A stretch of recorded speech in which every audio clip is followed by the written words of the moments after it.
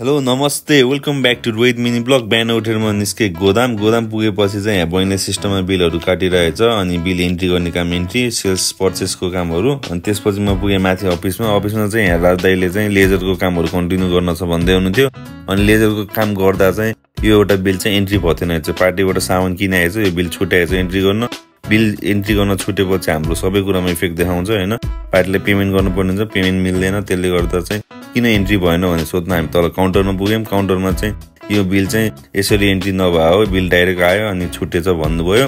अनि त्यसपछि चाहिँ मैले खरेर हेरिरहेको थिएँ यहाँ सिस्टममा हाम्रो चाहिँ गुगल एनालाइटिक्सको रिजल्टहरू हेरिरहेको थिएँ होइन। युजर भिजिटरहरू के भइरहेछ हाम्रो साइडमा कतिजना मान्छेहरू भिजिट गरिरहेको छ हेरिरहेको थिएँ। अनि बहिनीले चाहिँ त्यही बिल इन्ट्री नभएको भएर त स्टक नेगेटिभमा आइरहेछ।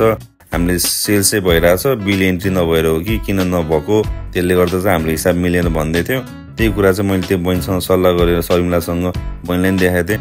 हाम्रो चाहिँ पर्चेस हुनैपर्छ। पर्चेस नभइकन सेल्स गऱ्यो भने स्टक नेगेटिभमा आउँछ। त्यसले गर्दा चाहिँ बिलहरू छुटाउनु हुन्न। आजको बिल आजै एन्ट्री गर्नुपर्छ भने त्यसपछि अनि आजको लागि अफिसमा यति नै भएर म तल पुगेँ। गुरुङ सरसँग कुराकानी। गुरुङ सर आज आइपुग्नु भएको थियो। यहाँ हल्का फुल्का कुराकानी भयो। त्यसपछि म पुगेँ घर। घरमा पकाउनु भएको थियो। मैले खिर खिर खाइयो। खिर खाएपछि म लाग्यो आफ्नो बेडतिर। बेडमा पल्टेर सुत्यो। आजको लागि यति नै।